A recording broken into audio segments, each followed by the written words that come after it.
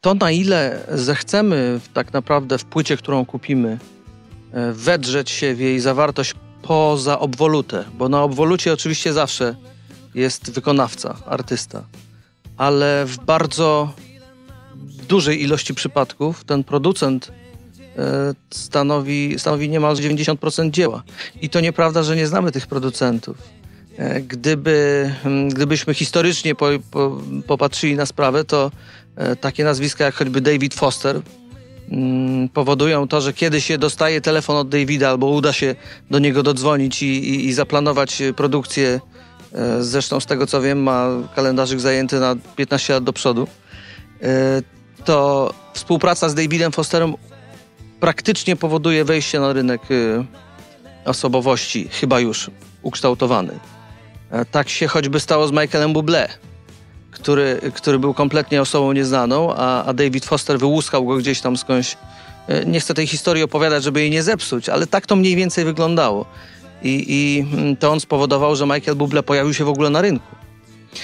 Jeśli chodzi o mnie, e, oczywiście e, to jest tak, że, e, że mm, kiedy współpracuje się, kiedy dostaje się taką możliwość współpracowania z osobą, która E, której nazwisko choćby nie było popularne publicznie, tak, albo znane tylko niewielu, a jest znane przynajmniej właśnie tym, którzy przez te obwoluty chcą się przedzierać, to, to trzeba mieć na tyle, na tyle dużo rozsądku, żeby powściągnąć swoje e, chęci.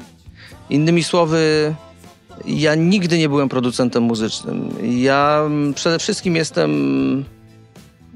jestem osobą, która pisze teksty, potem trochę śpiewam, a na koniec, y, na koniec staram się znajdować ludzi, którzy dobrze spełniają swoje zadania. Y, nigdy nie byłem producentem i też w związku z tym, kiedy udaje mi się znaleźć taką osobę jak Henry Hirsch, to, to, to zwykle oddaje się im absolutnie bez, y, bez ograniczeń. Oczywiście gdzieś tam stawia się te widełki, poza które nie chcielibyśmy muzycznie choćby wyjść, tak? Ale y, no proszę cię, nie można byłoby powiedzieć takiemu człowiekowi, nie, to tego dźwięku nie nagrywajmy, bo, mm, bo, bo ja nie jestem pewien, czy on mi się podoba. Y, zresztą taka sytuacja doprowadziła do kilku momentów, w których ja dosyć szeroko otwierałem oczy, myśląc sobie, nie, nie, nie, jak to możliwe, to nie, to nie jest chyba dla mnie. E, albo, albo też e, kilka, kilkukrotnie otwierałem oczy w, takim, w takiej myśli, że nie, nie trzeba było jechać do Ameryki po to, żeby, żeby nagrać płytę garażową. Tak? Można było wyjść do siebie do garażu i, i, i zatrudnić kilku ludzi, z którymi z, zrobiłoby się mniej więcej to samo. Ale czy to samo? Nie jestem tego pewien. E, geniusz towarzyszy jednak osobowości, nie tylko nazwisku. A Henry Hirsch jest z całą pewnością osobowością. Kiedy... Mm, kiedy, kiedy dowiedziałem się, że będę z, nią, z nim e, nagrywał e, tę płytę i, i co za tym idzie, no, musiałem zerknąć na całą listę artystów, którzy z nim współpracowali. Ja dokładnie wiedziałem, że ja nie będę jednym z tych artystów. I ja pojechałem tam po to, żeby, żeby ktoś mógł spojrzeć na mnie bez mojej historii to był główny powód. Wszyscy, którzy, z którymi udało mi się współpracować przez te dwadzieścia kilka lat tutaj na rynku, no to, to jest tak jak w tej drużynie polityków, o której rozmawialiśmy przed chwilą. My się wszyscy znamy, e, nie wszyscy się lubimy, ale, ale wszyscy mniej więcej wiemy, kogo, kto, kto jakie ma pomysły w głowie, tak?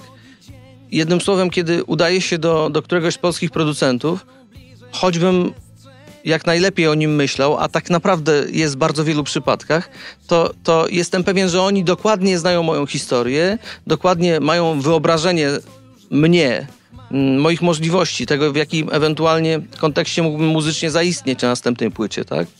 I, i, i że, że ten pomysł będzie pewnego rodzaju łatwizną. To znaczy czymś, co szybko im przychodzi do głowy. A mm, kiedy kiedy współpracuje się z kimś, kogo się zupełnie nie zna. I teraz nie, nie, nieważne to jest, czy, czy to jest osobowość, osobowość światowego formatu, tak? czy ktoś zupełnie nowy, kto być może za chwilę będzie taką osobowością, ale ktoś zupełnie nieznany. to, mm, to wkracza się na jakby na takie no, zupełnie nieznane wody, tak? I, I czasem udaje się nie roztrzaskać, tak jak, tak jak, tak jak się nie udało temu, temu człowiekowi, który wpłynął blisko wyspy kilka dni temu. Ja się chyba nie roztrzaskałem, ale czy tak, y, czy tak jest y, na pewno, to już, y, to już przede wszystkim ta ocena należy do moich odbiorców, bo, bo, bo to oni weryfikują moje wszystkie plany i projekty.